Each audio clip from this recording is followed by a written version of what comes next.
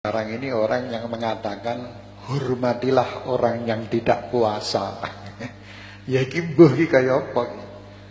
Hormatilah orang yang tidak puasa. Masya Allah. Lah ini takwane neng ora mudeng.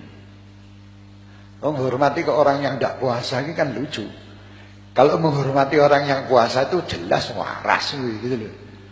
Kalau menghormati orang yang tidak puasa terus buka warung, ini orang Islam loh. Kita tidak bicara non Muslim.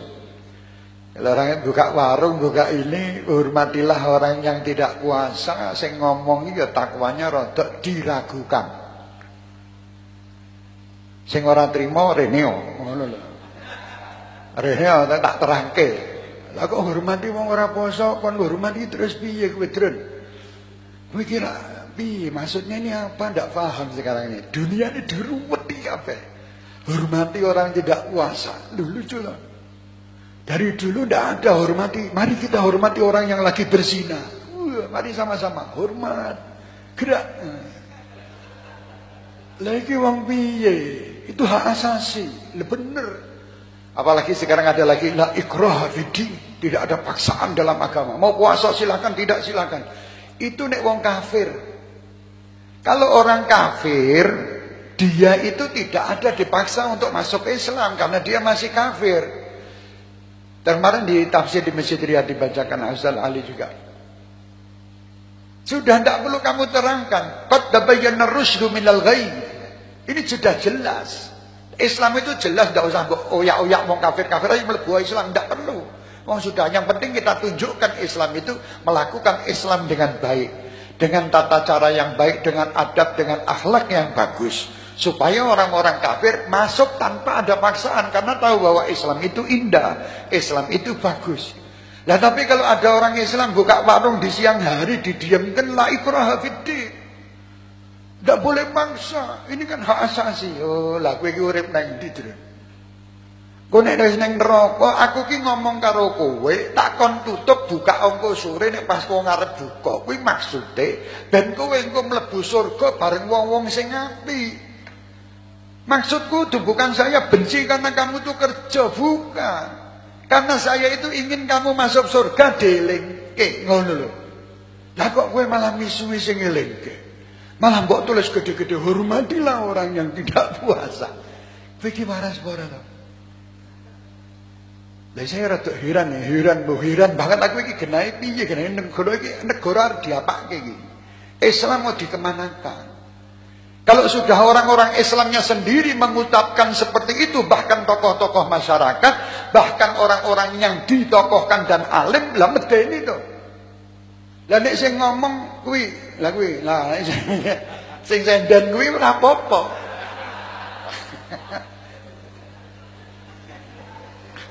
Nek sing ngomong kuwi ora masalah. Dene orang mudeng dalile ya, lah ngono. Malah selamat. Lah sing ngomong iki kadang wis pinter-pinter kadang hati-hati ya aja melu-melu. Saya rezeki yang didapatkan orang-orang yang jual di siang hari demi untuk mencari keuntungan-keuntungan di siang hari oleh orang-orang yang tidak puasa minal muslimin muslimatin walaupun bukan dari muslim dia rezekinya jadi haram Haram bukan barokah nih, mau haram mau barokah. Wis ora enak dan tidak mungkin ada orang kaya gara-gara jualan di siang hari demi untuk mencari keuntungan. Malah justru saya tanya yang warung-warung buka di sore hari jam 4 itu, ya. Itu lebih untung daripada yang buka dari pagi nanti bengi. Isuk nganti bengi itu duduk cuman karo piye iki ora ana sing anu. Dan bingung dhewe lho, saya puasa kok, Beb. Saya kan jagani wedok sing haid. Saya jagani orang kafir dan musafir. Eh, eh. Kowe Jokaya Gusti Allah. Kok kowe iki rumangsa kamu yang ngopeni wong-wong kuwi. Kamu ndak usah ngopeni orang yang haid. Wong yang haid itu masak dhewe, goreng dhewe ning omah iso. Dari zaman saya bayi orang yang haid nek puasa itu malah ndak mungkin keluyuran mangan ning warung. Lah nek ana wong haid keluyuran ning warung mangan ya udah haid kuwi. Haid haid ngono ta. Lah kaya ngono kok. Lek kurang ajar ta. Lo jagani orang haid. Orang perempuan yang dalam keadaan berhalangan dia pun tidak keluyuran makan di warung. Apa nek wong lanang Islam ngakunya pecinta Nabi Muhammad makan di warung di siang hari di waktu Ramadan. Masya Allah. Lah inilah kejadian-kejadian yang luar biasa wahai hadirin dan hadirat. Marilah kita bacakan takziah buat orang-orang yang mengatakan hormatilah orang-orang yang tidak puasa. Ini kita akan bacakan tahlil nanti selama 400 hari dengan 40 hari. Lagi wis orang mudeng no, hormati kok. Lho saya ini kaget lho, lho kaget. Aku kira nek biyen ki tulisannya hormatilah orang yang berpuasa. Itu tulisannya dulu. Sekarang dibalik. Jadi sing puasa iki mesake Islamnya kesian, Pak. Kon hormati kabeh, kon hormati tapi sing liyane ora nek sing hormat Islam blas. Contohnya pas puasa nyepi neng Bali itu. Pitik arep kluruk wis dicetekak aja ngluruk. Tidak boleh keluar. Uh, Ini nyepi. Tidak ada toleransi sama pitik, tidak toleransi apa nek karo menungso. Ada yang bisa bicara. Kira-kira siapa yang mana ngomong neng Bali itu? Hormati orang yang tidak nyepi. Siapa yang mana ngomong? Orang yang wani kuampleng kene orang nyepi nih, gatok kowe saka kene. Lah kok iso ngono? Kok bisa mereka begitu tapi Islam tidak bisa begitu? Apa sebabnya? Ya sebabnya Islam yang harus diremuk, yang harus dikacau. Ya aja melu-melu. Turun. Aku awas melu. Sing ngrungokke sik kok kene ora trimo rene kok. Sini, nanti saya kasih tahu. Gue mudeng tak kayak bungkusan. Sahur bersama. Ngono lho. Apa ora penak? Wis dijelaske disauri bareng. Nek ora gelem trimo, cek meyel banget diturokke ning kono ditahlili wong akeh sisan tahlili wae afdhalul dzikri la ilaha illallah la cincang nang ngono kuwi Loh kenapa baik ini misi hidup ditahlilkan? Dia ini sebetulnya sudah mati. Karena si dia sudah mengatakan hormatilah orang yang tidak puasa. Hihi, ajib. Lucu, lucu. Ya minta maaf. Nenek sing krungu ora keterima ya monggo. Memang kuwi keadaannya awake ini kaya ngono kuwi. Biasanya nanti kan ini nyebar, ini saya paham. Hari itu, wah Habib Syekh mengatakan begini, karepmu lah. Sebareng sak karmu, pokoknya saya tidak setuju dengan ucapan hormatilah orang yang tidak puasa. Tidak setuju. Nah, tidak setuju saya punya hak toh, hak asasiku toh. Lah gue dua hak asasi, aku jadi hak asasi tak lambeku tak culke ya pet Wong dulu itu pernah ada iklan, iklan satu buah iklan rokok. Isinya lambe klek klek klek klek klek klek klek. Eling tadi lambe dalan-dalan. Tak bilang iklan luar biasa ya. Dan iklan yang juga yang sangat-sangat membuat saya senang dan saya gembira. Lihat dengar neng buri ban mobil enak almonya itu nyekel sirah. Susah jadi manusia. Tak omong bener nyet. Bener omonganmu bener. Kaya ngene iki menungso saiki. Wong mosok wong sing ora poso kok kon hormati kan susah jadi manusia ini. Ternyata baru terjadi kata monyet dulu. Ngene nyekel sirane susah jadi manusia. Neng ban-ban lho, mbok saiki neng dina gambar. Ternyata kata Met, saya salut sama monyet itu betul nyet. Memang susah jadi manusia. Wong-wong ora poso kon hormati terus piye to nyet nyet. Lah ya susah jadi manusia, ya. Hati-hati. Mudah-mudahan awake dhewe ora melu-melu hormatono wong sing poso hormatono angkaten derajate wong sing poso nek kowe memang iso misalnya kamu itu tidak bisa berbuat apa-apa ojo nglarani wong poso lho Gus Karim niku nggih pernah cerita kali kula niku Lah Gus Karim iki pas delalah dalan ning ndi enek wong nyabrangi nggawa es teh. Cek kepringet. Siang hari jam 12. Gue nyekel nek Gus Karim ora mlirak nglirik kok ngono iki arep ngombe ora iso ngawan jan durung jam 12. Garisane titeni ngono to. Titeni engko ning akhirat. Kita intip kowe engko. Ning akhirat nek kowe ning akhirat kono delalah kono mlebu surga awake dhewe mlebu surga kono ning neraka. Lah awake dhewe nggo gelas genteng iki lho tehmu biyen. Iki sing mbok nyek kowe ning donya kok mbok intak-intek terus aku ki terus mbok ayal-ayali terus ngene iki. Nganti ngene terus aku bendina ndelok tekmu sing mbok gawa ngalor ngidul jam 12 awan. Ya. Hati-hati, aja gawe lorone wong Islam. Terutama kalau kita yang disakiti kita tidak apa-apa. Nabi Muhammad itu bendina dipisui. Wong sama ada seorang yang setiap hari diberi makan sama Rasulullah, diberi makan loh. Misuh dipisui Rasulullah. Rasulullah tidak marah. Tidak mungkin marah karena pribadi. Tapi kalau sudah Islam, lah ya Rasulullah ngarep dewe.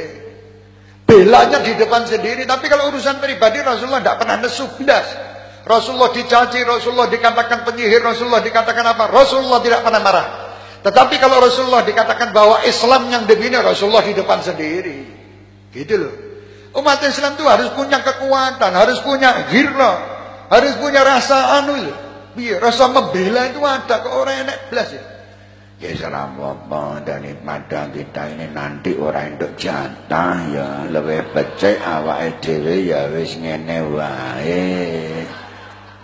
Ah wis model ngono. Lah terus nek awake dhewe ngomongnya hormatilah orang yang puasa ya nanti kita dapat apa? Wah ya wis. Dapat apa? Ini hati-hati. Oh yang jualan wi, sing dicekel, saya malah kepingin itu satpol pp ini kita kumpul ke duit 500 juta kayak ke satpol pp ini, sing nutup wi, wi wong hebat.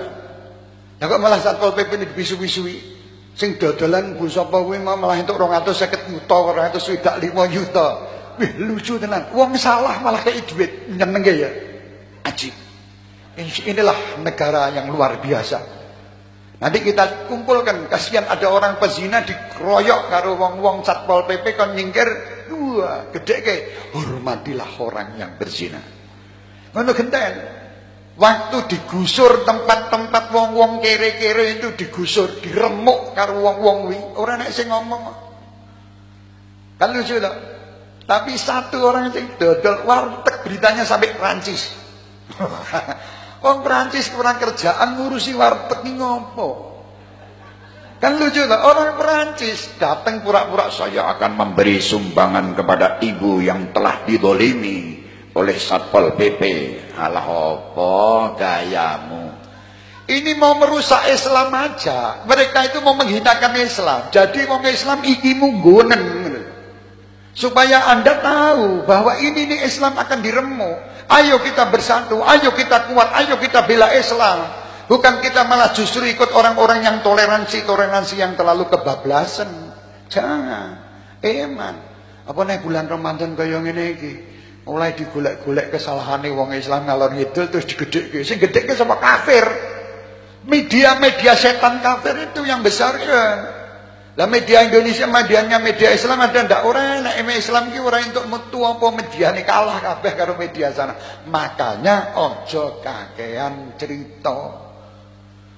Beramal aja kita. Bela Islam, bela Allah, bela Rasulullah demi mengangkat derajat umat Islam yang ada di negeri yang kita cintai ini. Semua muslim adalah saudara kita.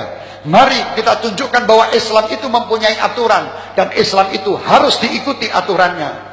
Bukan Islam itu cuma aturan itu. Itu gunanya apa toh? Dibuat seperti itu supaya perda yang ada di sana itu dicabut. Supaya dibebaskan wong dodolan. Lah kan lucu toh, enek wong dari kepingin dadi antek ke orang itu. Ya coba perda saya malah kepingin nanti kapan-kapan nek dikasih kesempatan mangkat neng Bali pas nyepi gawe maulud. pas nyepi Fauzan sak grup truknya kon teko, Davin Pola pasti dicekel aku, pasti tidak mungkin tidak. Pasti dicekel, dimasukkan penjara, dimasukkan koran besar dewi. Ini menyalahi aturan perda yang ada di Bali. Loh.